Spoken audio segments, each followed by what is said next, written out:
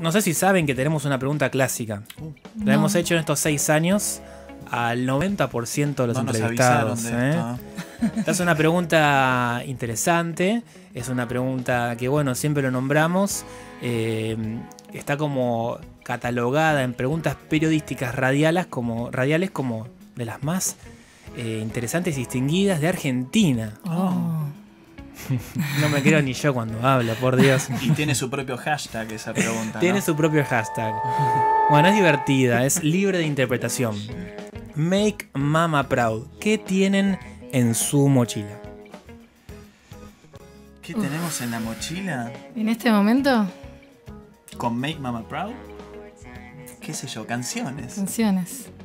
Canciones Y canciones. y canciones y, y- y- y la, Y ganas de, de ser mejor. la- una búsqueda en la, del- en la perfección, en el detalle. Eh, Sí, ¿Qué sí. pregunta? Pregunta profunda.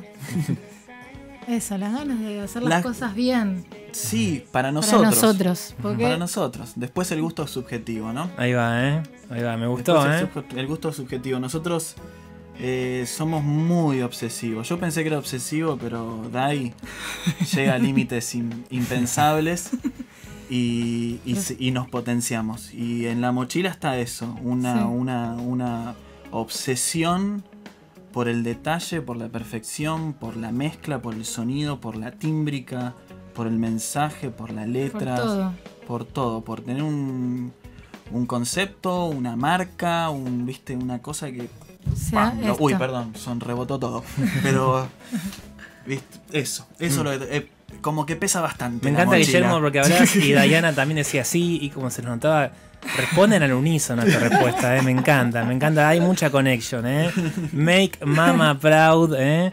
están aquí con nosotros, eh, seguilos en las redes sociales, Síganos. Diana Azar ¿eh? Eh, en su red personal, Guillermo Porro en su red personal, Make Mama Proud oficial en el colectivo que emprenden, chicos, qué buena onda, esperamos eh, en el futuro encontrarlos tocando en vivo con este proyecto. sí, Eventualmente vamos a salir a tocar Exacto. Cuando Ni- tengamos las canciones, cuando esté el disco ya nos metemos en, ese, en, el, en el otro viaje de Otro la obsesión mundo. de que salga todo perfecto en vivo. que eso ya es más difícil. Me encanta. Y por ejemplo, se juntan, ¿no? A hacer música, van a hacer un mate y el mate tiene que tener la hierba perfecta, la bombilla No. perfectamente obsesiva colocada. Mira, el tema infusiones en nuestra relación es bastante diferente, porque Dai no toma ni mate ni café. Ah. Y yo tomo bastante mate y bastante café. yo tomo té.